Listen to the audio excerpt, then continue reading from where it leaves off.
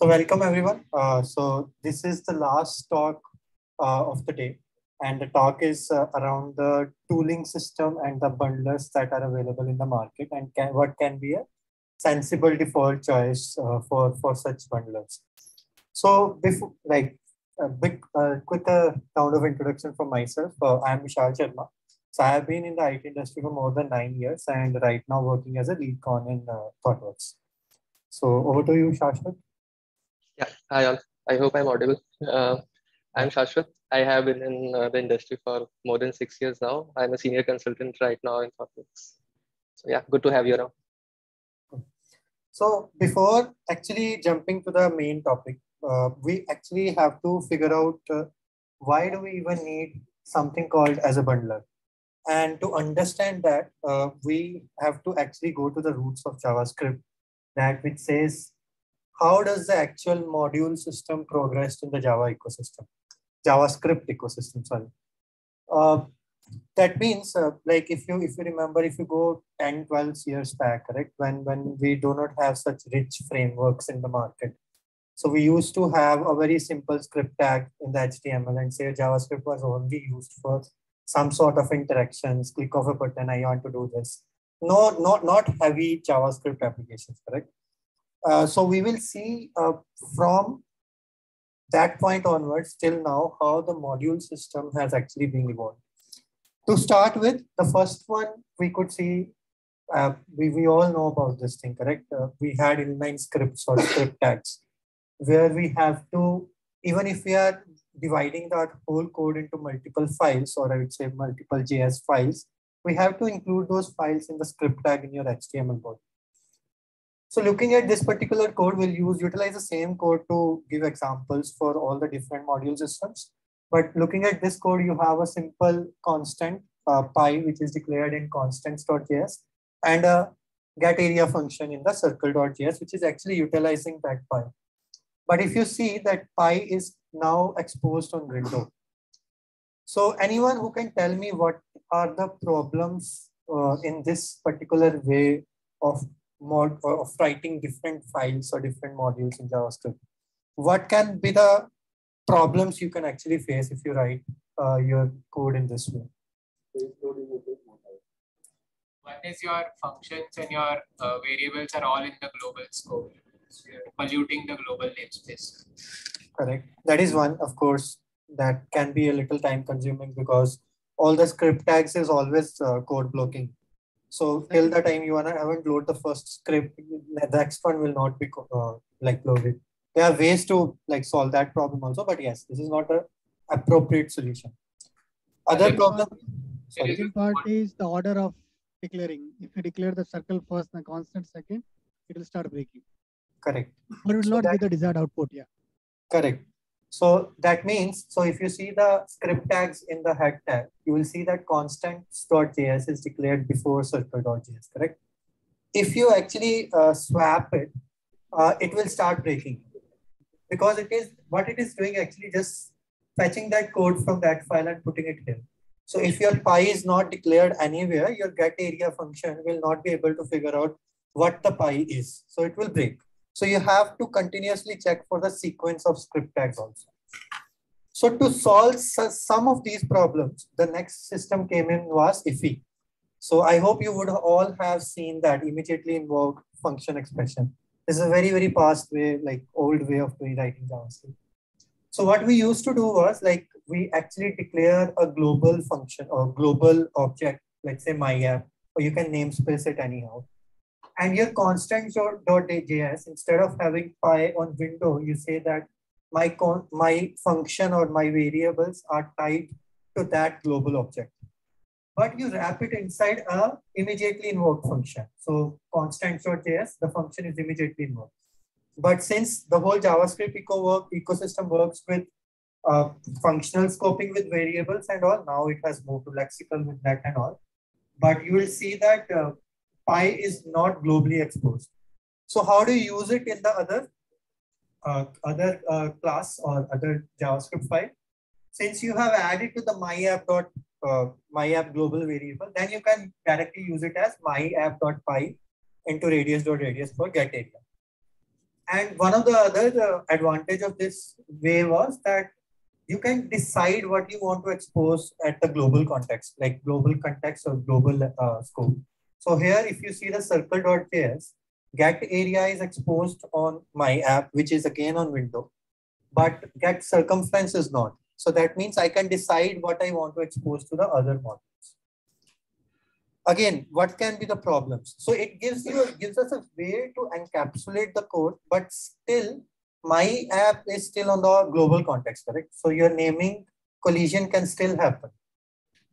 Any other drawback that anyone can think of uh, this pattern?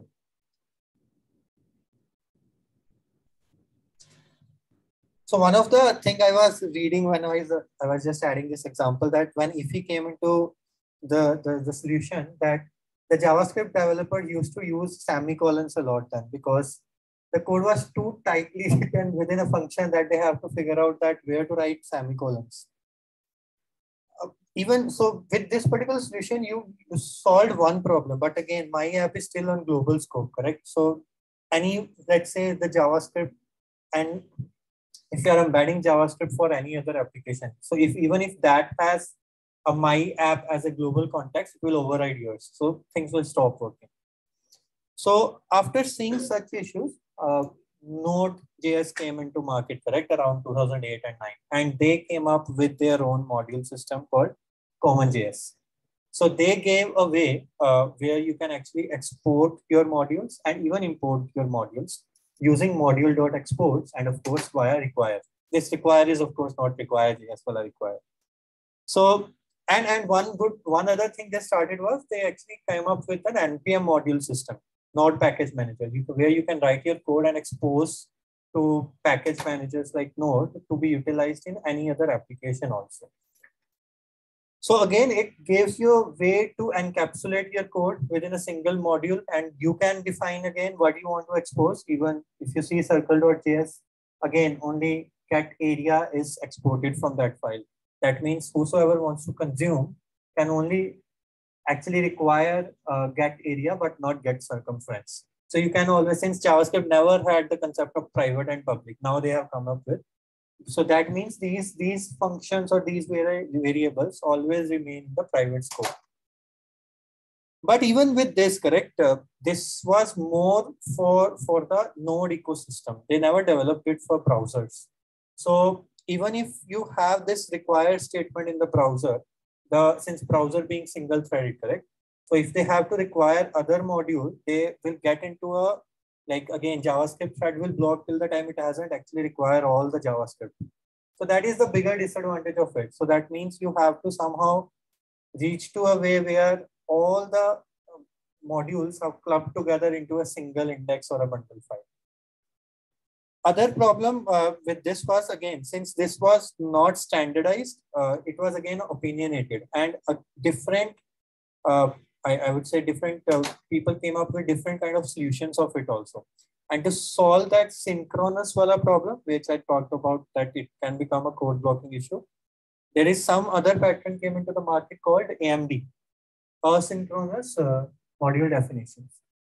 Uh, with this, what it happens is you can, you can actually define what you want to uh, load as a module uh, in your file and your, your, your library or whosoever is implementing AMD will only load that. For example, in constant.js, you're just returning pi from here, correct? And in circle.js, you're saying that, oh, for this particular module or circle to work, I need to, I need constants, which is defined here. And I'll, and I'll define it there and utilize via constants.pi. So it, it again encapsulates um, and nothing is on global uh, and tries to solve a lot of problems, correct? Uh, require JS here was the first one to implement this. So that more require const was is not the require JS one. This is one of the example of require JS.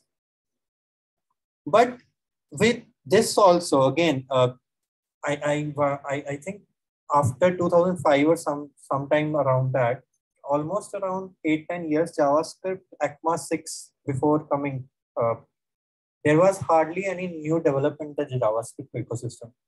And that is when suddenly, to I think 2015, uh, ES5 or ES6 came into picture, and that is when the whole module system gets standardized.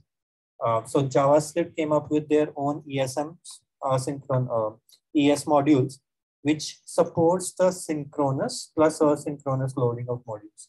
So you might have used something called lazy loading of modules, creating a different chunks and all. So all of these were supported with ECMA 6.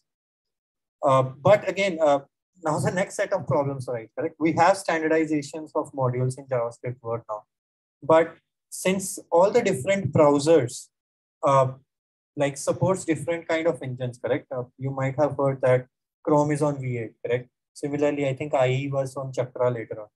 So they, the, these browsers takes their own time to implement new features. So even if in 2015, ES6 came up with a whole a lot of features, they were not readily available for those browsers to get to use it directly, correct? So that means you have to somehow convert those new features to the old way of writing JavaScript for the browsers to understand that. Anyone knows, uh, like this is one, this was one of the feature import export. What were the other features that came up with ES6? You, you will be using it in your day-to-day -day life. Anyone? Arrow function, perfect. Let where const, correct? Even now, I think few years back only the browsers have started supporting let. Before that, they were not able to uh, async await. I think that came up with ES7. Regular expressions, uh, generators. So that means even though these uh, these functionalities or features were available, our browsers were not able to utilize it directly. And that is where the idea of a bundler, one of the idea of a bundler came where it says that, okay, now you have different modules. You are writing your files, you are writing your JavaScript files or TypeScript files. You are write, adding your CSS, you are adding your Sass, or you are adding your more different type of static assets like images and all. What a bundler will do it, it will give you, it will just combine everything according to their extension, the type of file, and give you a distribution of your file type. Like every JavaScript code will be compiled to a JS. All the CSS can be uh, given back to you as a single .css file. And that is why you actually needed uh, a bundler, where instead of relying on a browser ES modules, because again, browsers were not supporting, bundler says, okay, you utilize new features. I'll make sure that I'll give you a one single bundle.js. Again, you can split it. We'll talk about that later. I'll give you one single file which supports, which has already converted the new features to the older feature so that you can directly import that or directly use it those JavaScript files into your head tag or script tag. And that is why you actually need a bundler.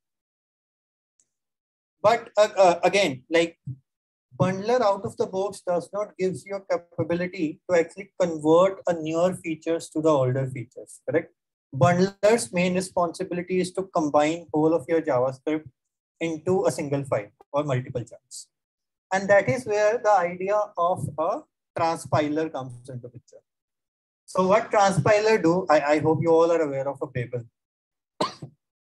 Again, Babel is not a bundler, okay? So you need Babel with your bundler solution to actually convert your newer code to the newer features to the older features.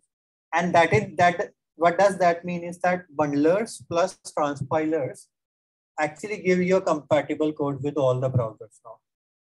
The newer versions of the browsers are actually supporting the new features, but if you have a requirement where you again have to support the older versions, without this, the code will not work.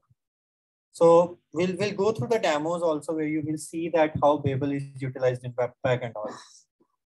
So that set up the context, correct? So this is why we need bundlers, why we need transpilers. But we have so many options in the market. If you see, this is a very, very small list of bundlers available. You have Webpack, Webpack, I think most of you will already be aware of. Parcel, ESBuild, Grunt, Gulp, and so on. Like it will never end. This is a very, very small list. So what we thought is that, what we thought is, uh, why not actually again, you are seeing this image in almost all the talks here.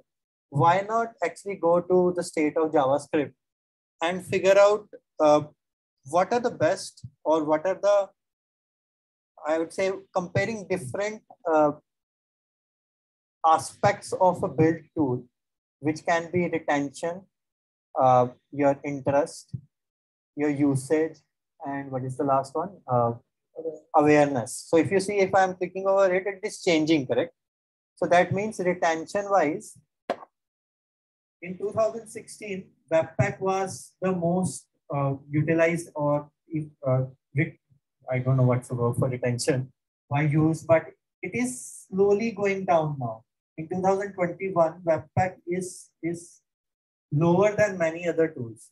And there is an emergence of different type of uh, build tools. And Webpack is taking, oh, sorry, Vite is taking a lot of attention here. Similarly, on the interest side, if you see, Webpack is not only not a default option for you, and, and so on. Usage wise, if you see, even though retention and awareness has decreased, oh sorry, retention and interest has decreased, but even then utilization or usage is still that far for Webpack compared to any other tool and so on, and awareness, of course. So after comparing these tools,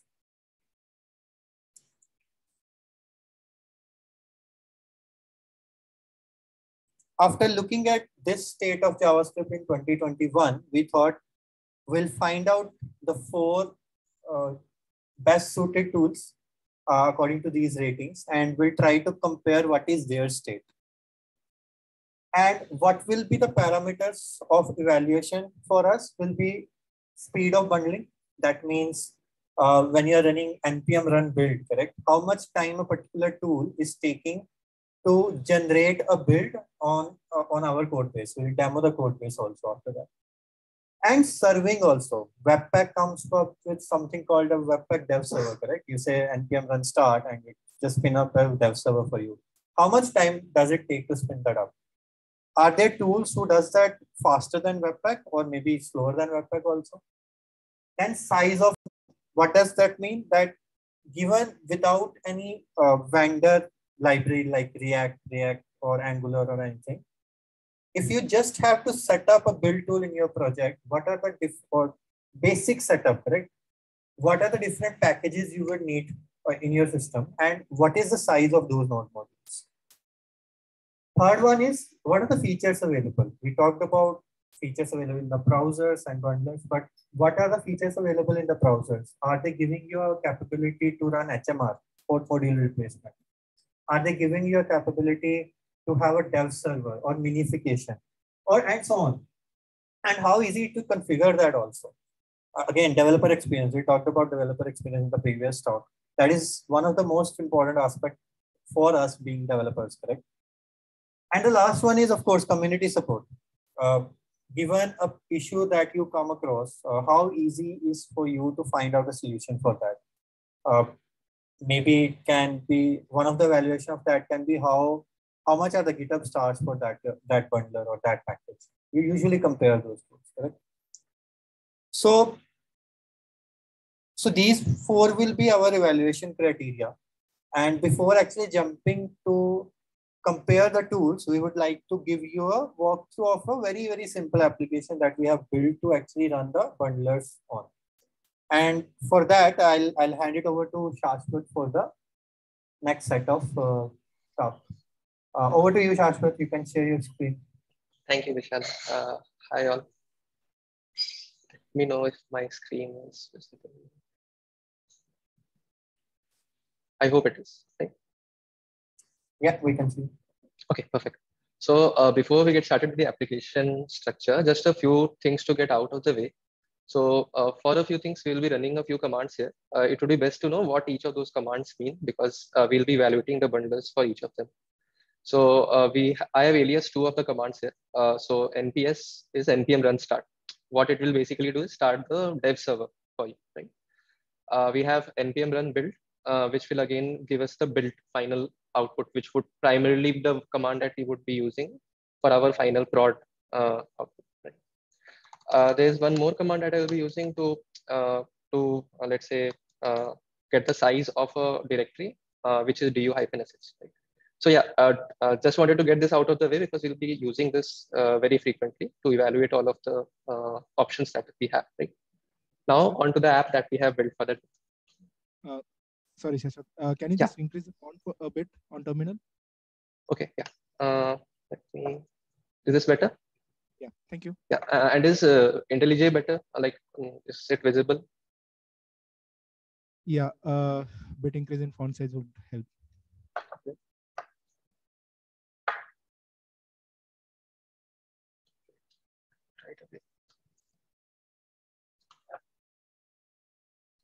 Is this better?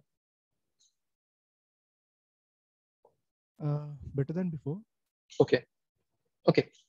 Uh, so yeah, so we'll get, just get started uh, with the app that we have built. We have a very uh, small mock server that we have created for the app. Uh, it just uh, handles and uh, shows us the, gives us a very basic JSON, which we render. and we have a React based app that we have created. this app in itself is a very simple app. We'll have a look at the UI also, but it has a set of components. Uh, and uh, again, an API called it actually makes to the mock server. Also, we have uh, some assets that we have added uh, for the app, and uh, that asset also gets bundled. Um, one of the criteria that we wanted to show was the assets getting bundled. Uh, yeah, that's mostly it in terms of how deep we will go into that. if if need be, we will go down deeper. But for now, we'll just have a look at the running app. Okay, so uh, uh, one more aspect that I wanted to cover was the uh, the way that we have shaped our uh, directory structure, right? So for so we have placed the app and server uh, in our individual directories, but for each of the build tools, we have created separate directories, right? So that helps us in just you know uh, separating out each of the build tools and we'll. Ashwat, we you say item only right now. Okay, are you able to see the lslrt output? Yes. Yeah, yeah, yeah. So yeah, so so for each of these, we have specific uh, directories that we have created. And uh, first, we'll start off with Webpack. Yeah. Any questions? Any uh, things from that side, Vishal? You continue. Yeah. Are we good uh, with us? Yeah. Cool. Yeah. Perfect. So we start with uh, Webpack. So first, let's just uh, analyze the node module size. Uh, so at least in this case for Webpack, uh, the node modules that we see is 103 MB.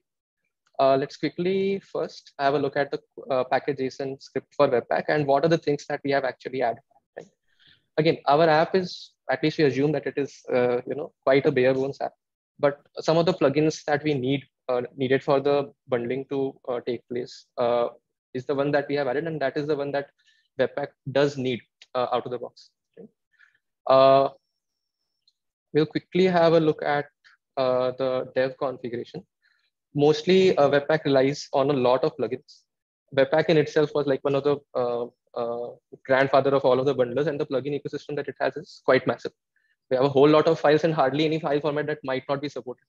Some of them are even incorrectly supported. Uh, but the idea again being that it is very plugin driven and gives a whole lot of control to the user. Uh, it allows us chunking and uh, you know uh, minifying our application, which we have added in our prod config that we have created. Uh, it does not allow JSX uh, or, or um, the other file resolution out of the box, but like I said, we have the plugin support for most of the features that are there. Let's quickly run the application from Webpack. So like I said, we will first start the application. Uh, this will start the dev server. Right? And uh, okay, so first thing is in terms of the time that it took, uh, that is the reason that we are running this live on terminal. So at least uh, the audience will also know the feel of uh, of when we are running a, a web app application, right? So it took around two seconds to run and to compile fully. Let's have a look at the uh. So so yeah. So the uh, the image that we talked of has been bundled, and uh, we can see like you know whatever uh, uh, options that we are choosing in terms of the Webpack configuration, the amount in the bottom tab would, would be reflected accordingly. Yeah. Okay. Uh, so yeah, in terms of the speed, it is uh, decent. Uh, it is not the fastest out there. Let's quickly uh, bundle the application also uh, to gain an idea of how fast might the prod bundle take to build, right? Right. So again, around uh, 3.5 seconds because of the Terser that we had added to minify uh, everything, right? It uh, it basically has a bit of code splitting that we can add, plugin supported for that, and support for SVG, PNG, all kind of image assets also, right? Uh, yeah. So uh, so that's mostly it about Webpack, but a couple of points about Webpack, right? Um, let me go back to my slides. Uh, so yeah, uh, so so so in terms of uh, any bundler options that we start off with, we primarily want to start off with Webpack uh, because, like we said, it is the grandfather of all of the bundlers out there. Right, a lot of ideas were initially implemented on Webpack. Uh, the the concept of hot module replacement and even the initial idea of having a dev server were initially you know uh, conceptualized on Webpack. Uh, during the time that React and other SPAs were evolving was also how Webpack evolved and you know constantly uh, added support for more and more features. And that is why it has such a huge plugin ecosystem. There's hardly any bundler that comes close to Webpack in terms of the plugins and the community support. So the reason we wanted to lay this foundation is, okay, now that we have Webpack out of the way, we can actually have a look at the other tools and kind of use Webpack as our yardstick. Right? We will we will evaluate how the other tools are behaving, and we'll kind of have Webpack because it is kind of the de facto, like the uh, graph that Vishal was showing. It is still the most used bundler out there. Right? So yeah, any parting thoughts on Webpack? Any questions? Any um, uh, you know project experiences that you might have had around Webpack from audience? Any uh, there? No. I, I hope most of you would be using Webpack right now. Or at least would have heard of it. yeah. Uh, that's a de facto, correct? I, uh, right. So create React app, I think by default uses setup. Right. right. Angular uh, CLI by default uses Webpack. So, but they are moving towards other tools now. Like right. in near future, I think they would definitely. But any good or bad experience with Webpack till now? What do you don't like about Webpack? I think the audience love Webpack. we can st- we can stop our talk. we should be very careful with the next options. okay. Uh, so yeah. So yeah. Uh, with that out of the way, uh, as uh, Vishal covered earlier, right? Uh, there was an evolution that was happening in terms of the modules, right? Uh, the the standardization of modules, uh, the the coming in of CommonJS and Node.js and all of the mixing and matching from backend and front-end frameworks. Similarly, uh, there was a rise and an idea of how ES modules can be supported in the browser by default. Right? So, so if ES modules are supported by default, then uh, our code would get a whole lot easier in the sense that some of the code that we are writing might not need the whole the level of transpilation that it needs. Uh, and the initial support for uh, ES modules in browser was actually quite slow uh, when uh, the specification was implemented. But with time, uh, browsers caught on. And now there is almost across all browsers native support for ESM, right? The first part of the sentence, uh, which also gave rise to, okay, can we implement bundlers in ESM, right? Which is what we have here, right? So we'll just quickly look at the difference between the two approaches, right? So the one on the left is the Webpack approach, right? and the one on the right is the uh, ESM based approach, assuming that there is native ESM support in the browser. Right? So, so on the left, if you see uh, the way uh, the code gets bundled is, uh, let's say the JavaScript, a very basic uh, Webpack uh, code would actually crawl through all of your dependencies and then will create one bundle out of that. And that is when my server gets ready, right? So the nps command that I had run initially for uh, for Webpack is actually doing that. Yeah, it is fast, but it's actually doing all of that. Right? Uh, and then we finally get a bundle, and that is when the server is ready. Some of the folks thought, okay, let my server fire up early. My browser will tell me the the JavaScript that it needs, and then I will send those JavaScripts on the fly, right? Reason I am able to do this because the support for import A from B that Vishal had shown, right? That comes natively in browser now. So the idea was, okay, why do the bundlers need to do all of these heavy lifting? Let the browser do a bit of work for me, and I will optimize the part after the entry. Right? So let's say the server ready and entry, and then I see, okay, I have a few imports. I will crawl lesser number of JavaScript files. Right? And if I don't need the few other JavaScript files that when, well, I don't need to send those across, right? So that at least conceptually means that it is faster, Right? is it faster? we'll see. Uh, so yeah, so now we move to the rollup. Um, the reason again that we picked up rollup as our second option was because it was the first uh, bundler that thought of the ESM first approach. That okay, I will be having my ES modules as my uh, you know uh, default way of uh, of bundling things up. Right?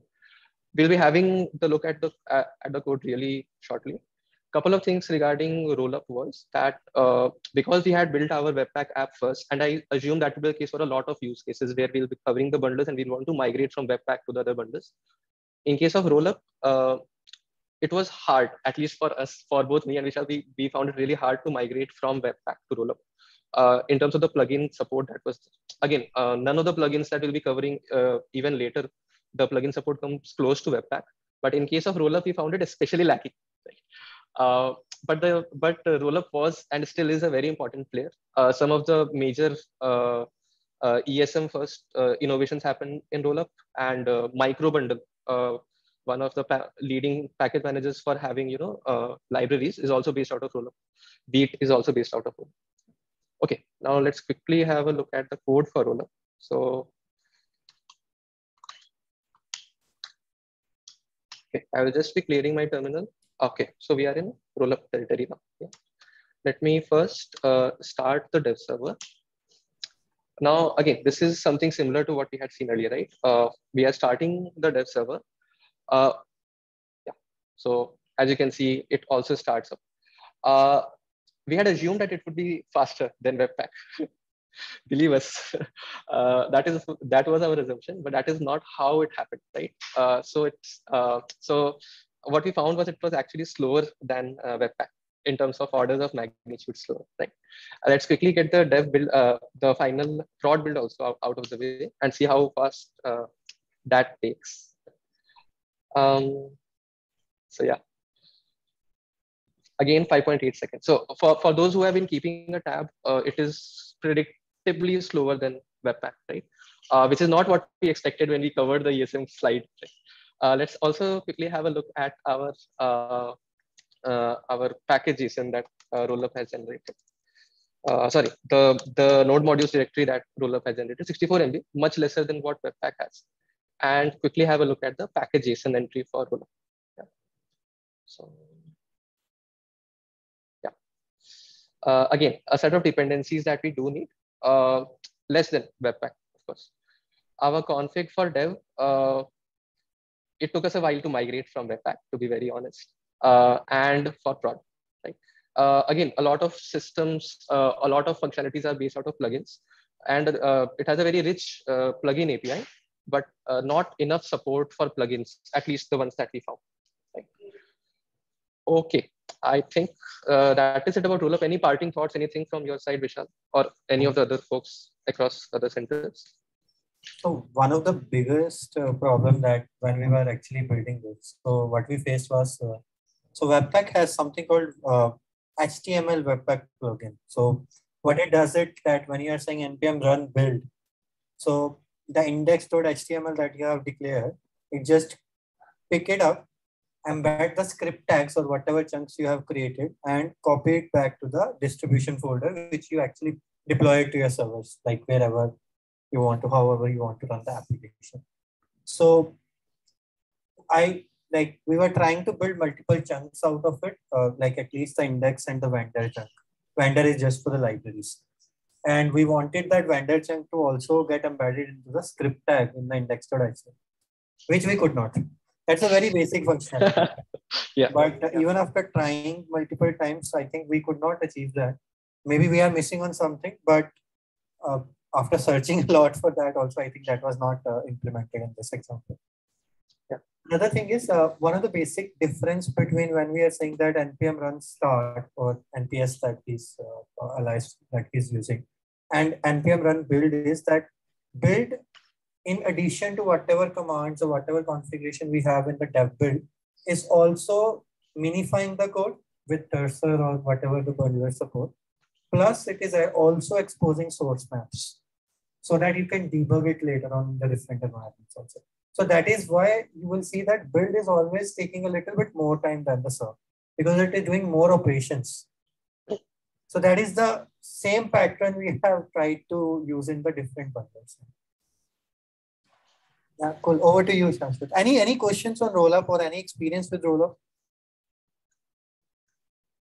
Gurgaon, Bangalore, anyone? Uh, one question from the chat. How are you switching between Webpack and Rollup while building? Do you want to take that if no questions? So I guess uh, we are not switching. It's just two different directories where we are saying that yeah. uh, our starting point is on the same application. Maybe uh, Shaswat, you can show that code. Uh, maybe VS Code quickly. Yeah. Yeah. yeah so uh, let's say in case of uh, a rollup, uh, it is as simple as this. We are saying that you know pick up my uh, input from index.js. Uh, and we have kept our app in uh, and index.js uh, file here and for each of my different bundles, I'm just pointing it to the JS file, uh, the base JS file, and that's it. Uh, yeah, that's uh, the magic line 11.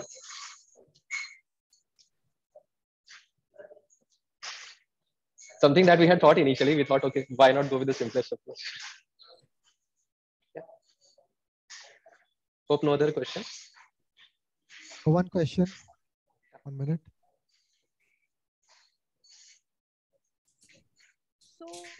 When you were uh, describing about the roll up, uh, you told once the server, it's like server ready architecture means once user clicks on something based on the route, the JS will be bundled as such, right? So right. it didn't happen that way, right? Everything bundled together. Right. Um, okay. Now uh, that is a good point. That is actually a good question. Uh, so one of the things that uh, we have seen with ESM based bundles, right, uh, is something uh, that will come to again. It is the difference between uh, DX and what actually gets rendered in the end, right?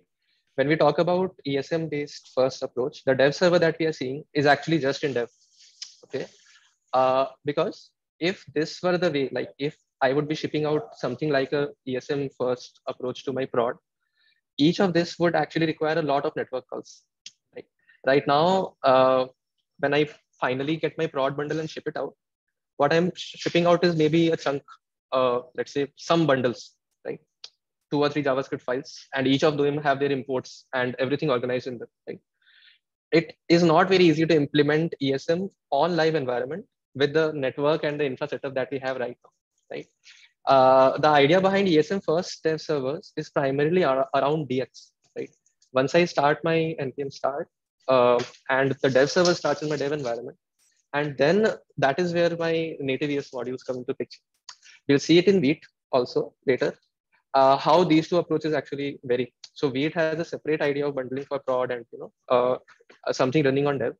But uh, at least uh, native ESM support right now, uh, we do not ship it out natively to prod unless we have done some optimizations, right? so, um, so I hope that answers your question.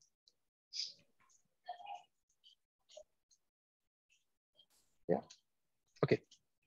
Cool. So we'll quickly move ahead.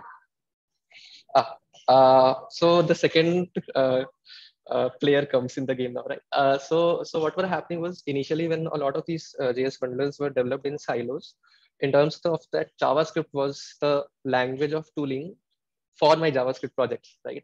Uh, e even now, a lot of the projects that we have, a lot of the tooling that we have is around JavaScript some of the disruptors came uh, and you know uh, changed that market slightly.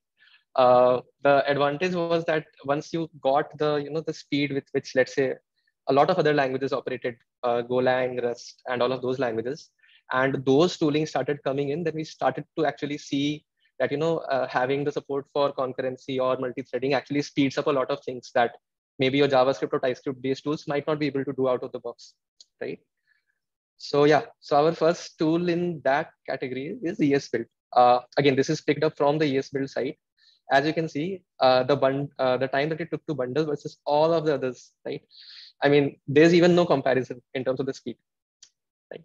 Uh, ESBuild was developed by uh, Evan Wallace. A uh, lot of projects under his belt uh, in Golang, and it has an opinionated way that it has uh, gone about in terms of its development, even in terms of its plugin support.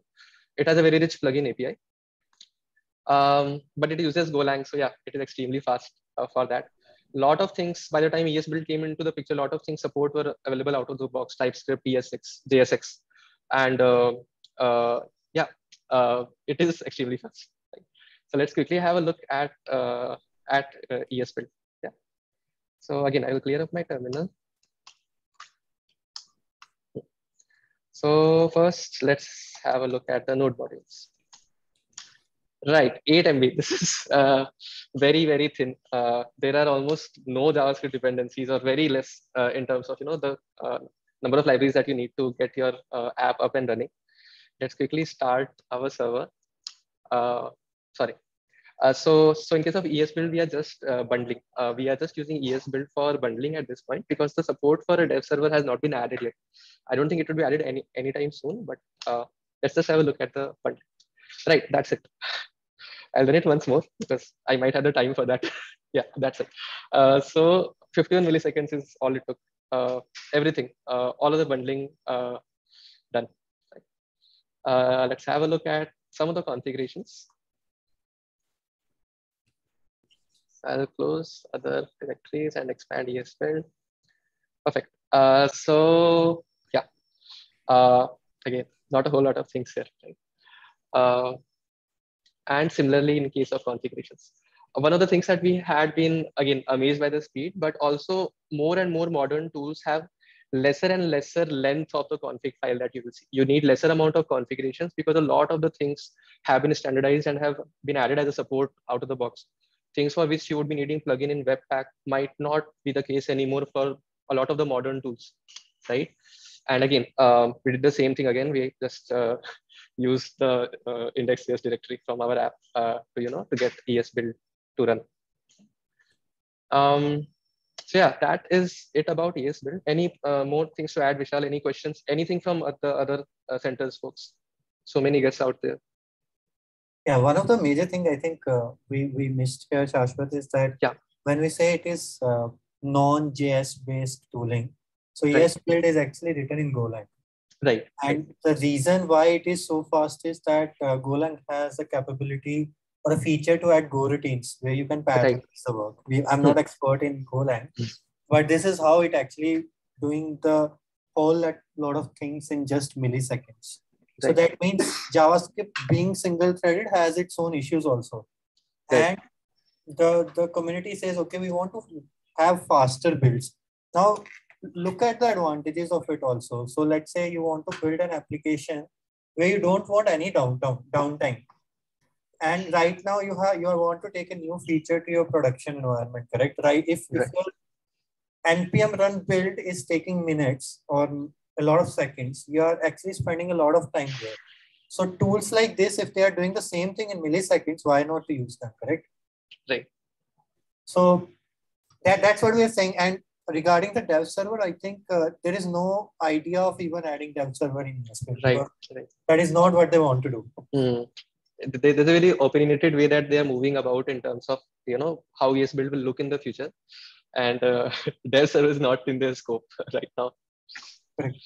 And maybe one more thing again. Uh, so if you see the configuration of these new tools also, so compared to Rollup and Webpack, you would see that you have to add some plugins or loaders to get the things work, correct?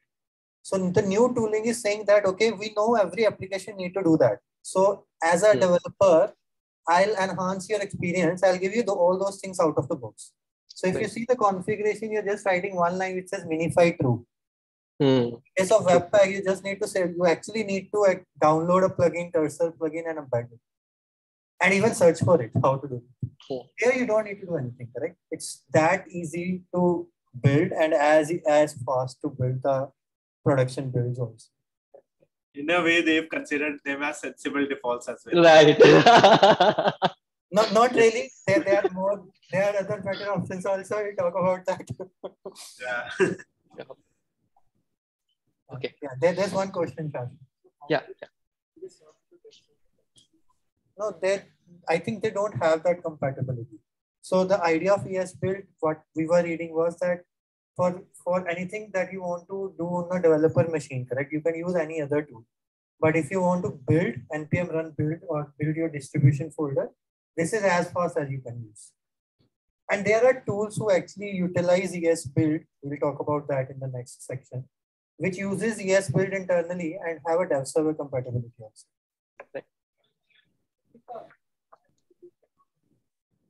Okay, shall we move ahead? No more questions, I hope. Just, just one second. Huh? Uh, okay, yeah.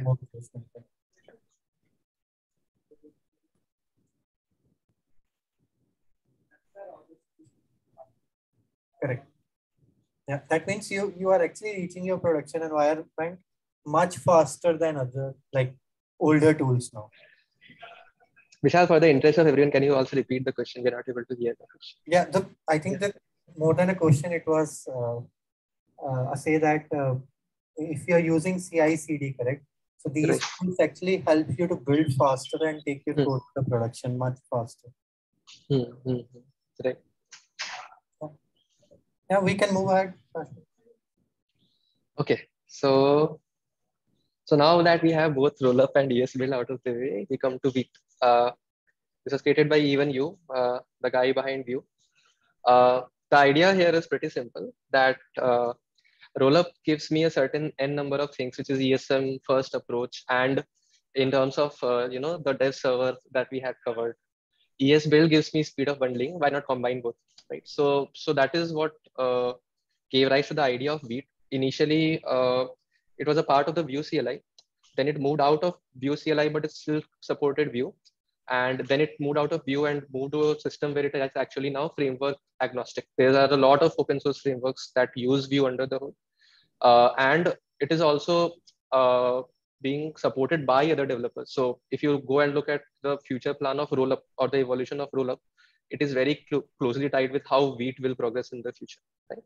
Uh, it is incredibly fast. Uh, it has plugin ecosystem. It is not that evolved as we have for Webpack, but uh, there's a, there are a lot of plugins that we have uh, on Vite. And um, yeah, let's quickly have a look at uh, how Vite, uh, how the code looks. Like. So yeah, I'll clear this up again. 44 MB, not the least that we have seen, but not the most either. It comes with a set of uh, dependency that it wants to add. Let's quickly start this.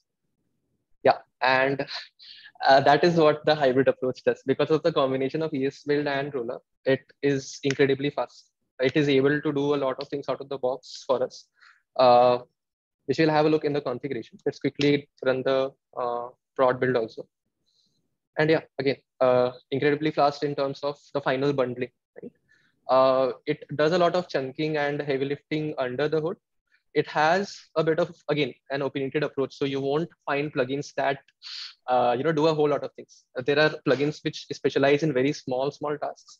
And even in terms of the api that it is exposed it is very opinionated. As an example your file that has a jsx in it does need a .jsx extension. Uh, if it does not, then uh, Vite will break. Uh, let's quickly have a look at uh, the package JSON for. Uh, again, not a whole lot of dependencies that we have here. Ah, so in terms of config, right? Uh, so both dev and prod, uh, that is mostly it, uh, what you need. Similar to what we had seen for ES build, we don't really need a whole lot of things uh, for Vite. Um, a lot of things are batteries included and a lot of things if you see uh, we are actually importing from Vite and for some we might need a plugin but again not to a whole lot of extent kind of goes back to the advantages that we have covered for rollup and es build and brings the best of both worlds in a way uh, uh, leading the open source future for a lot of the frameworks uh, solid astro you name it most of the frameworks uh, storybook most of them are using Vite under the hood there was one more thing actually. Okay. Uh, so yeah, so so that is uh, mostly it about Vite. Um, anything you want to add, Vishal, or any question, uh, folks? Uh, I have uh, one question. So I know it's a little too early, but have we been able to establish any opinion around uh, Turbopack? Right. Uh, we will come to that. We will come to that. Yeah. It's not that we have not included it, but we'll come to that. There's one question from Pune. Sorry, say of keep and uh, rollup. And the final build size. Yeah, build size. Okay. So uh, maybe uh, Shaswat, uh, we can show the final file size of uh, the bundle created by Vite or Rollup or anything? Huh, uh, some of it is here, uh, Vishal. Can you see the zip uh, sizes for each of these? So the vendor, so the vendor is the one where we have all of our node module dependencies, right? and the index.js is the one where we uh, that will be shipping out uh, 1.74 kb uh, gzip. Can can we see the same for Rollup? Uh, yeah. Maybe we have to open the distribution folder. Yeah.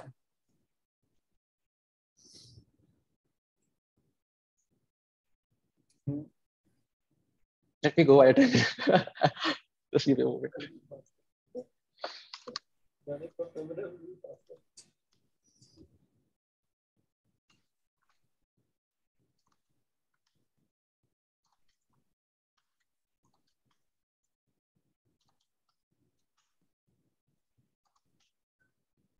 388 KB. I still not G gzipped, I think, but even after G gzip, it should not be uh, uh, very less. Still be around 80 m 80 kbs or something. Right. It would still be quite a lot. Yes. Yeah, let's There's an awesome blog that is there on how Vite builds. Uh, so, so for the node modules, it uses ES build to do it really fast. And for all of the uh, hot module replacements and uh, anything on the dev side, uh, it uses rollup for the hot module replacement and dev server. And there's a whole lot of optimization that had been added uh, in Vite, uh, because of which it, it is able to achieve whatever it does. The better the dish served, the bigger will be the kitchen. so it depends again. Uh, when we talk in terms of sensible default, correct? Uh, so it's not that this tool is the best. It always depends on, your use case, correct? What is the state of project you are in? So sensible default says that, oh, given this particular instance or the state, what can be a good fit for you?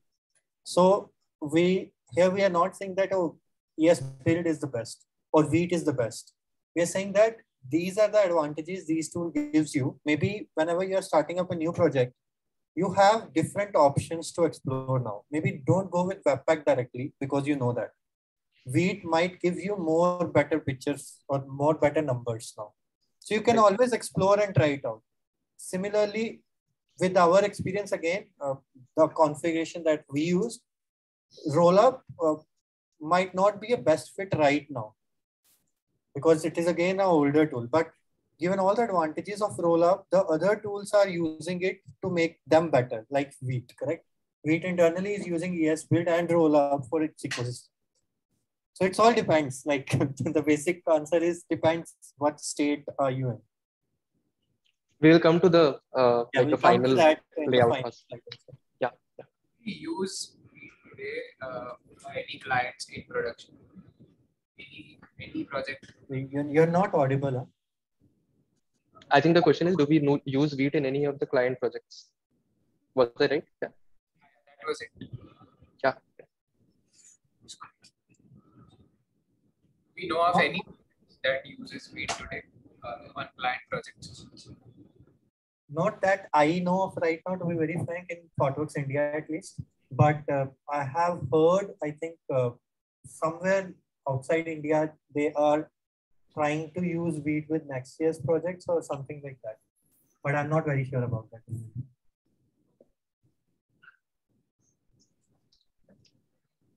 Okay, so moving on. Yeah, so we covered ES build, right? That was written in Golang. Uh, why do I have a separate set of slides for Rust? Uh, so the reason for that is again, Rust uh, is uh, on a similar parallel to Golang in terms of the modern languages that we have, kind of the next level of system designs languages that we have. Uh, most of the modern, uh, most of the bugs that we had earlier and the security uh, bugs that we had earlier were due to memory issues that were there in C++ and C, which is kind of removed in the way Rust approaches memory. It has the idea of a borrow checker. It does not have a, uh garbage collector. What all of these tech terms means is that uh, Rust is a really powerful language and it is a very safe language. You won't have uh, normally, you know, uh, unclaimed memory or any of the issues that we used to have with all the earlier language. And the uh, API that it, it exposes is really clean. What that has resulted in a set of different tools that use Rust under the hood. Right? So just like ESBuild was using Golang, let's have a look at SWC, uh, Speedy Web Compiler. So again, it is a compiler. Uh, it is not a bundler, uh, as we will see. It was uh, in a very early stage. It was adopted by Next.js. Uh, it is again uh, really fast. We'll have a have a look at it. But um, I would again request folks to not confuse it with you know Webpack or a bundler. This is closer to Babel, um, but uh, we just wanted to show that okay, it does have support uh, and how Rust is you know pushing the boundaries of what a bundler or the entire idea of tooling itself. Right? Uh, it has support for a lot of file types out of the box. It has a plugin API also, and it is very easily configurable let's quickly have a look at that as well. Sorry, my bad.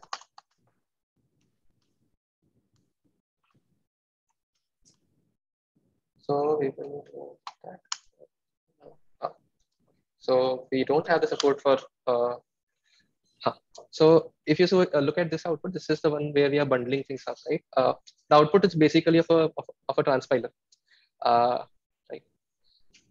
it is taking my index.js file and uh, just uh, rendering it back into ES6 and then giving me the source map for that. But what we wanted to uh, show was basically one, the speed of it. Uh, we'll have just have a small look at the code as well.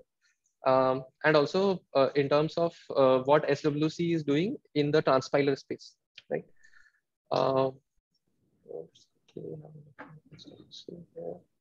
close it, open package JSON.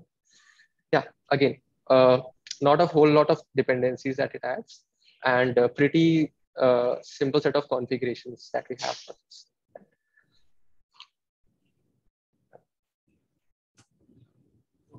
If, uh, in between a question, if I have to just yeah.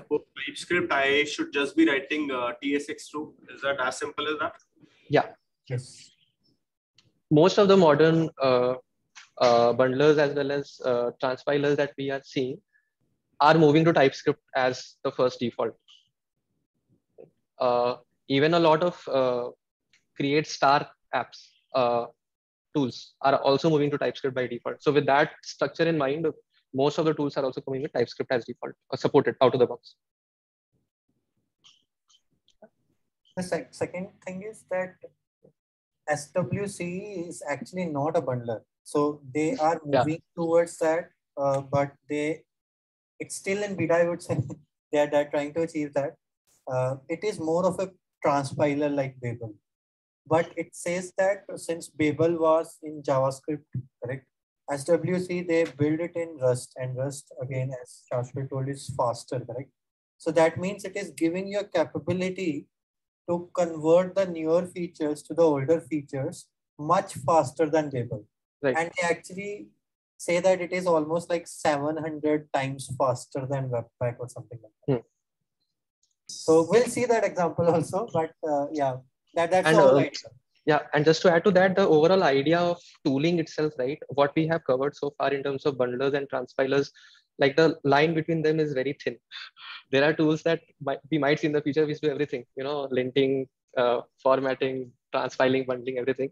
SWC also has a test runner called SWC Jest it is also very, very fast. Uh, they say it is a drop-in replacement for Jest. Uh, but yeah, it has some configurations, but uh, it acts as a test runner and again, uh, supports Rust and it is also incredibly fast for anyone wanting to try that. But yeah, the overall idea is around tooling uh, more than just specific use cases with SWC.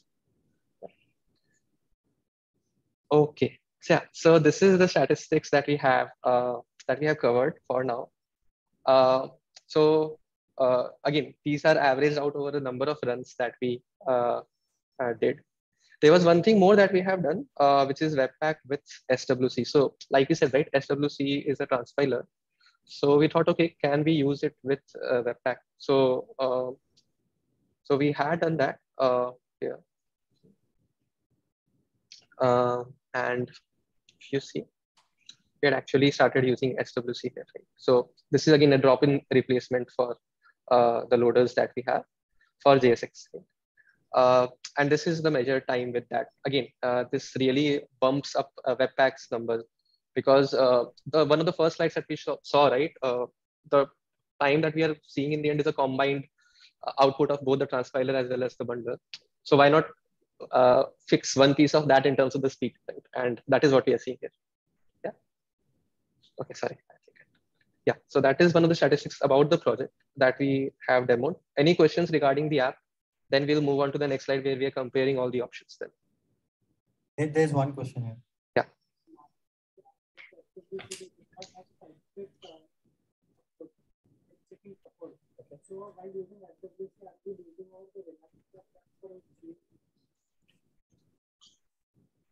Reliability, when you say reliability of the app, yeah, you're saying that uh, it doesn't Vishal, support can you please repeat the question? Okay, sorry. It So was the question, so the question is that uh, uh, SWC might not be supporting TypeScript according to last type checking. Sorry. So does that mean that uh, in the trade-off of speed, we are losing the type checking? When you say type checking, can you just mention what what does that mean in terms of a tool? Correct. Whoever is speaking is barely audible here in Gurgaon. Just, just give us one second.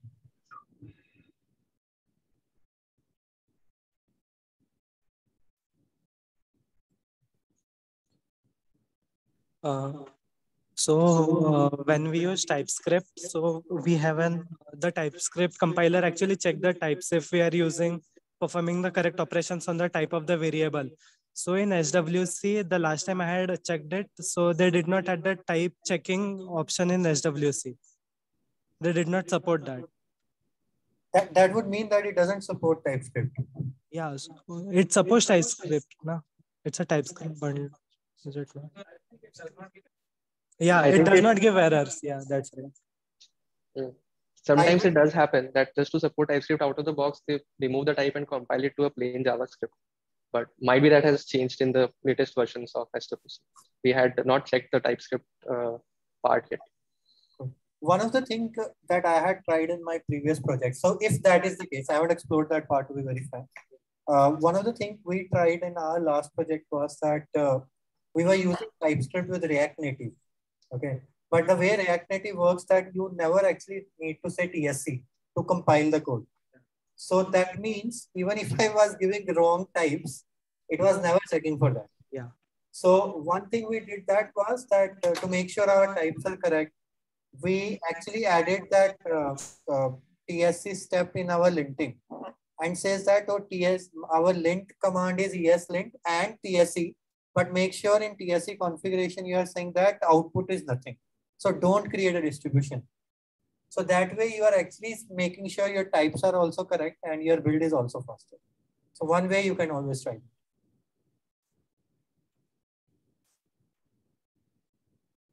All good? Yeah. Okay, then. So yeah, so this is uh, kind of going back to our theme, right? Sensible defaults. So, so this is kind of uh, a summary of whatever we have covered, right?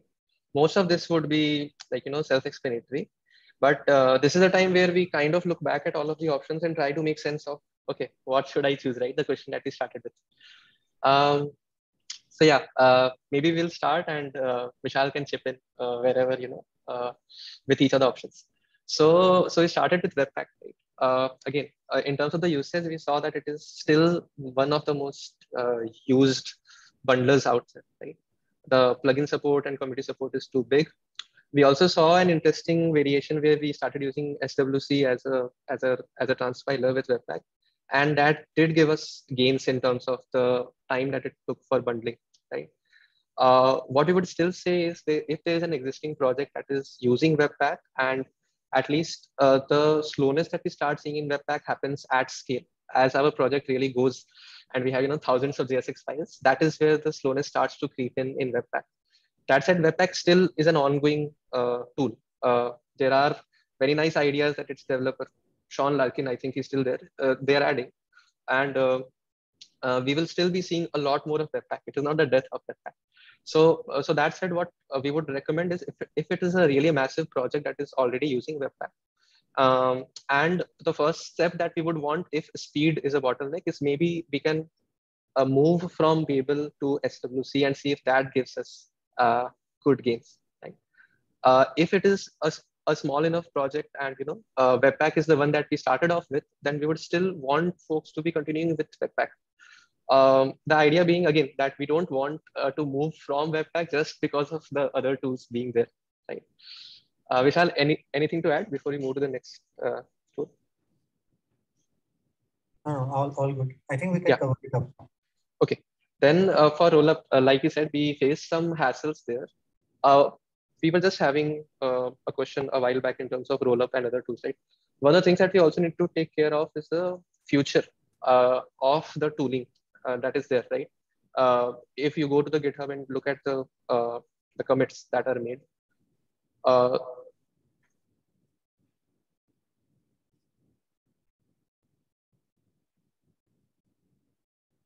yeah. Uh, so for sorry, so for uh, rollup, uh, one of the things that we want to see is the direction in which the, the future of rollup is headed, which seems very closely tied to Vite.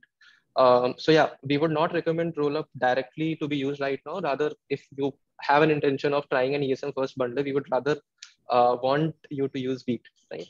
Uh, similar for ES build, it has a very opinionated way of development. If speed is what you need, right? Uh, speed above everything else, right? Then uh, go for ES build. Uh, there's uh, there's no tool that comes close to ES build, uh, at least right now in terms of speed of compilation. Um, maybe some come. We'll we'll come to that just in a few slides. But if speed is of primary importance and really primary importance, then you know go with ES build. Otherwise, uh, we would still recommend if you're starting off with a with a new project, right, and you have room for exploration, we would uh, hard uh, we, we would strongly recommend we in terms of the speed, the plugin, and the defaults that it supports. Uh, we feel that uh, Vite brings in best of both worlds. It is it has very good backing against it. It has a very growing open source community, and uh, uh, ha- having Evan You at its helm itself gives it a lot of credibility considering the Vue uh, uh, package, the the fame of Vue, right? And finally, SWC, where again we are looking at it as a transpiler. So yeah, uh, just take SWC with a grain of salt, and uh, um, we will come to the next steps that have happened for SWC just in a while. Uh, okay, now this is one slide that we wanted to cover very quickly. Uh, both of these are actually taken from the Jamstack survey of 2022. The state of JS is 2021, so slightly older. This is the one of the most recent surveys that has happened. Uh, if you see, we have highlighted Vite across both across both of the slides. Right, the first one is by usage and satisfaction. Vite is here at six, and the next one that is at one is React. Now, one thing to see here is this is not a analysis of just bundles, right? This goes across all parallels, all kind of tooling that is there. You will see Docusaurus, SolidJS, Hugo, and Next. And in all of that, the satisfaction of developers with Vite is the highest and orders of magnitude higher than the other tools that are there. Second one is this. This is in terms of the change uh, or the, uh, this is where people are picking up Vite, right? Again, uh, if you see, this is across tools. This is not specific to bundles still, right? You see React here and Express. And still Vite is heads and shoulders ahead of the other tools in terms of that a lot of new teams are picking it up right again this is just a survey you can go to the jamstack survey and it might be specific to a, a demography but this is the data that we found really interesting in terms of uh, usage of Vite and the impact that it has had on uh, the bundle ecosystem right? okay uh, vishal anything to add before we move to the next slide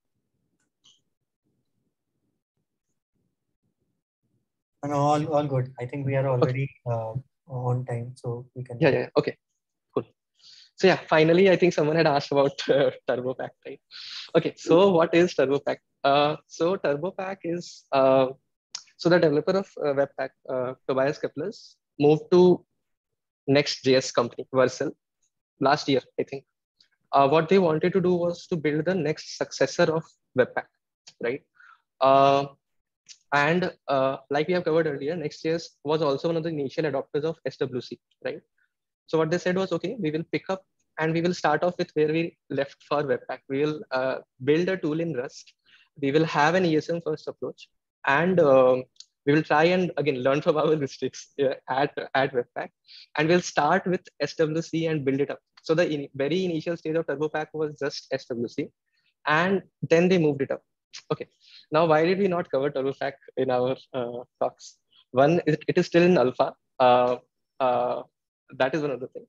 Uh, second is it is still experimental in Next.js itself. Uh, there's a flag that you can pass to enable it, but um, uh, it won't come as the default uh, uh, default bundle for Next.js. Uh, third is the times when it would, when these so the slide on the left is for Next JS with Turbo, right? So the time since when this this graphic was revealed, uh, then there has been a bit of debate around how these graphics were obtained and whether these these need to be revised. Uh, so the developers of Vite themselves actually uh, replicated the entire code set that was there for Turbo Repo, and they found that this is actually not the correct numbers. Right? The reason I, I bring it up was there was a question on the initial judgment on, on TurboPack, right? Uh, we can reserve our judgment for when it actually maybe moves to beta. Right now it is in alpha and still a lot of features are experimental and uh, uh, we cannot really go by the marketing numbers till we have actually used it right? Uh, so so in that regards it is not a tool that again we would recommend right now at all. Uh, but it's still something of a uh, like a very fertile landscape that is there. Uh, there is a room for a lot of you know innovation that we might be seeing here. Second thing is the image on the right which is rome right? I think it will be going in beta soon next year, it is already in beta. Uh, I'm not really sure on that part. Rome is the is a tooling like uh, like modern front end tooling tool, right? It it defines itself as uh, like a combination of linter and formatter and transpiler and bundler all in one. It is written in Rust. Uh, right now they have only two tools, I think, uh, but they are working on the rest. Uh, uh, so if you see for Prettier, it is incredibly fast again because of the advantages of Rust. But why we brought Rome in our discussion was uh, what we had actually touched earlier, right? The idea of bundlers and transpilers and tooling in itself in web is evolving by a huge extent. Uh, the bundler landscape itself has never evolved in silo. There is React that had initially had a lot of influence on Webpack when it was coming out. Then the ES6 uh, standardization gave rise to ESM first, right? So each of these has impacted the other. Now the way we are seeing with the domination of SSR first frameworks, with the arrival of you know uh, as less as possible JavaScript back, right? Uh, we will be seeing much and much more uh, impact of these frameworks on the kind of tooling that we might have. Let's say uh, as an open point, maybe folks can go and uh, uh, uncover is we have not covered SSR for any of the tools that we had covered, right? Again, because while we were uh, building our app, we found that it was not a parameter that we wanted to evaluate our tools on. But maybe in the near near future, we might have to. So yeah, just keep an open mind around these tools and uh, do not use your tools while they're in alpha. uh, so yeah, I think uh, that's it about the slides. Anything to add, Vishal, and then we'll pick up the Q&A. Oh, yeah, good. Yeah, that, that's all. Any any open questions that we have for this? All clear or all clear? So this is really good. Okay, I'll take that as a feedback.